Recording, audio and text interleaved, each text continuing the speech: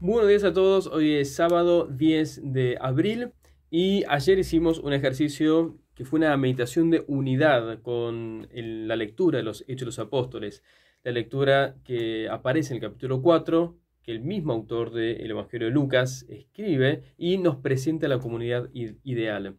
El ejercicio de ayer constó en hacer como una especie de, primero, conciencia de unidad con Dios, Padre, Hijo, Espíritu Santo, y a partir de ahí como Em, agrandando círculos concéntricos, comenzamos con la unidad con los cristianos de nuestra comunidad hacia la unidad con todo ser humano, porque, compartimos nuestra humanidad común. Hoy, como el tema da para muchísimo, vamos a hacer una segunda meditación de unidad, pero con respecto a cuáles son las actitudes propias del cristiano que ayudan a la unidad. La idea sería poder tener como gusto y atracción por todo aquello que ayuda a promover la unidad. Por eso vamos a hacer una meditación donde los factores, las virtudes propias de la unidad van a ser nombradas de a poquito, qué significa tener unidad, y la idea sería que en cada una de las frases que vayamos diciendo uno pudiera percibir como el gusto o la atracción que se desarrolla justamente por esos actos de amor, de caridad, que ayudan y promueven a la unidad. Vamos entonces a comenzar con esta meditación del día de hoy. En nombre del Padre, del Hijo y del Espíritu Santo. Amén.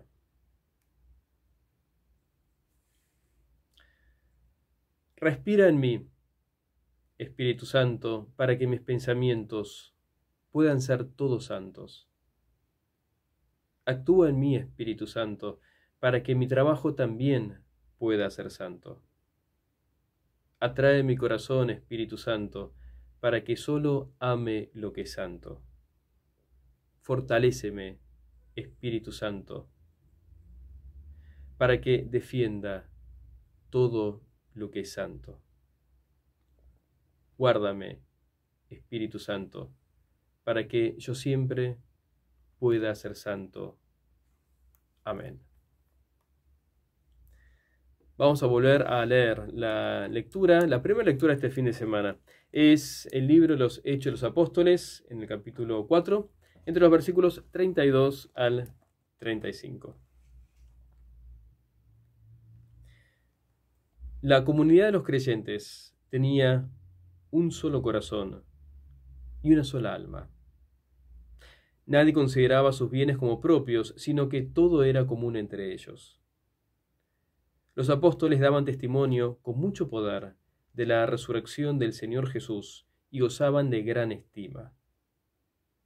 Ninguno padecía necesidad, porque todos los que poseían tierras o casas las vendían y ponían el dinero a disposición de los apóstoles, para que se distribuyera a cada uno según sus necesidades.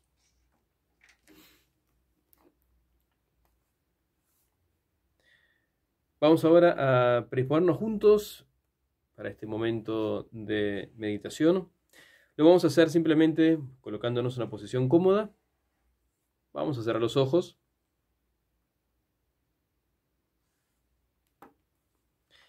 Y vamos a concentrarnos en el ritmo de nuestra respiración.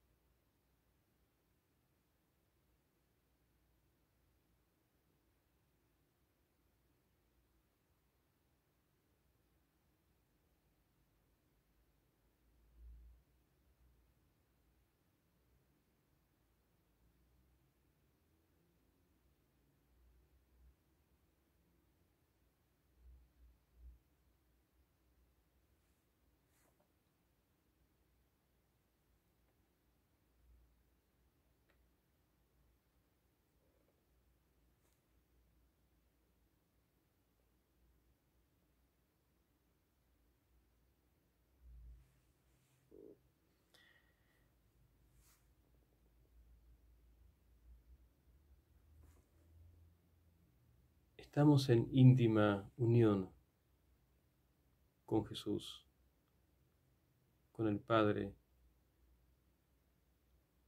y con el Espíritu Santo.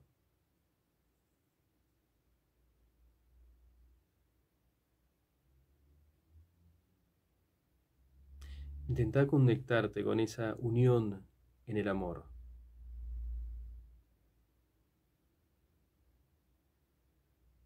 Porque el amor de Dios, Padre, Hijo y Espíritu Santo es infinito. Y por lo tanto nuestra unión con, e, con ellos, eterna y plena.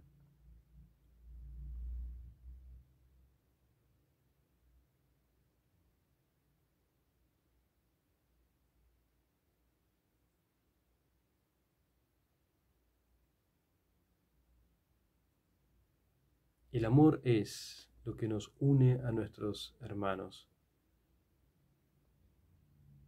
a los seres humanos. Cada ser humano es digno de ser amado, de ser respetado.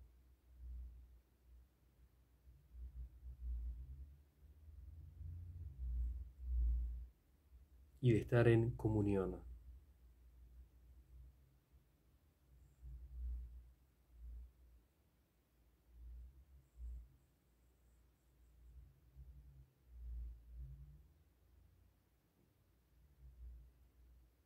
El ser amable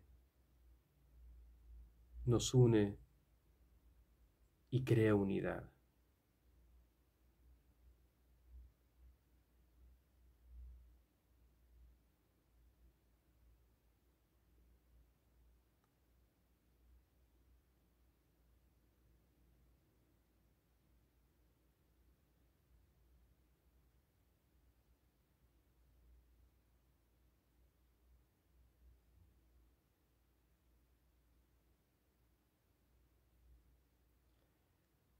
La generosidad une y crea unidad.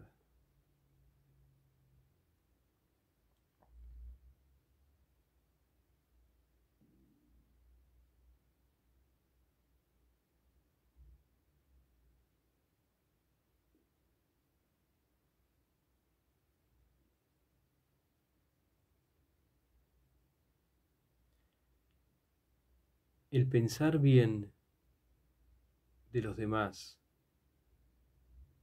une y crea unidad.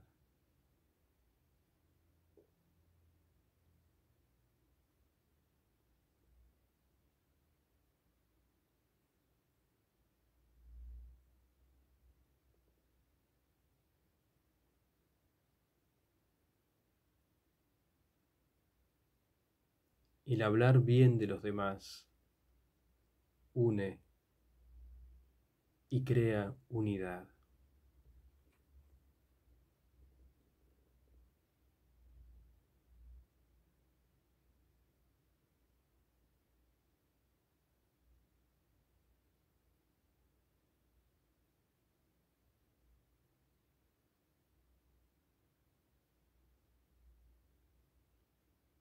El poder comprender a los demás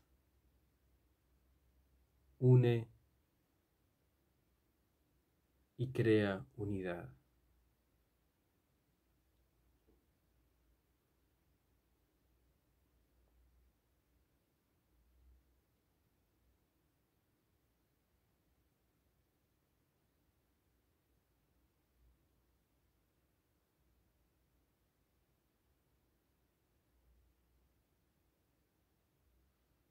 El dejarse conmover por lo que los demás viven, une y crea unidad.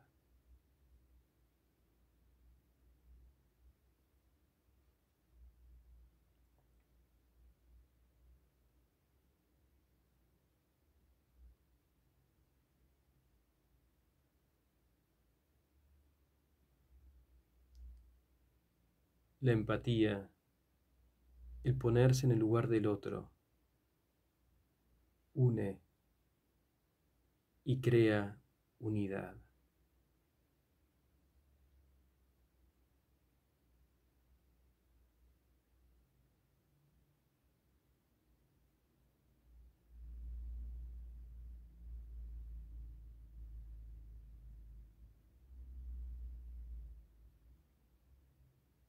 El transmitir sentimientos positivos une y crea unidad.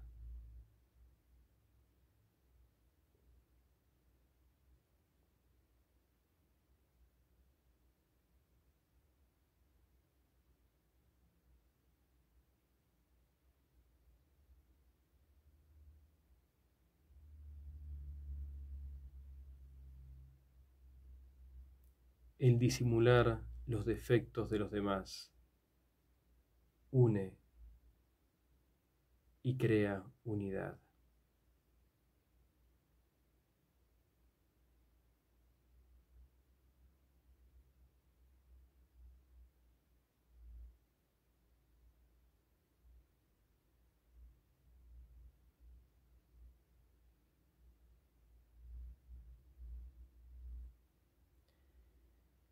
El hacer silencio antes de hablar mal une y crea unidad.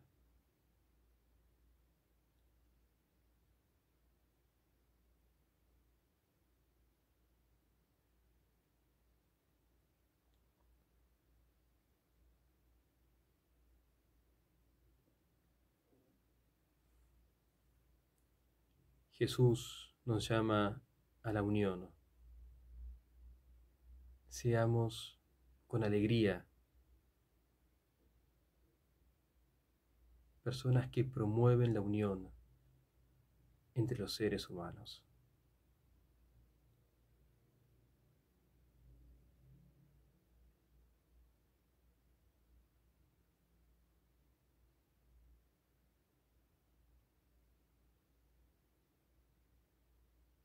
Y ahora vamos a volver serenamente al ritmo de nuestra respiración.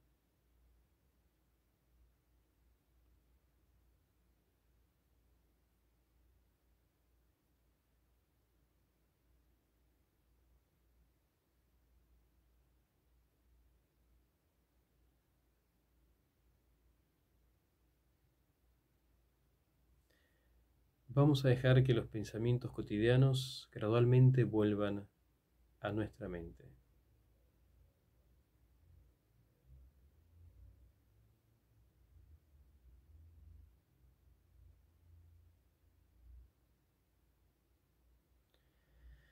Vamos a mover las manos. Movemos suavemente el cuello.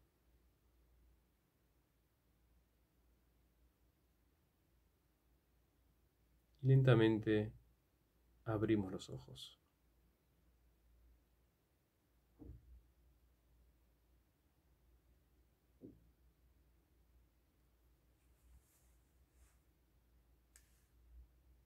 Dios nos encomienda la tarea. Seamos juntos factores de unidad. Los esperamos mañana con otra propuesta de ejercicio contemplativo.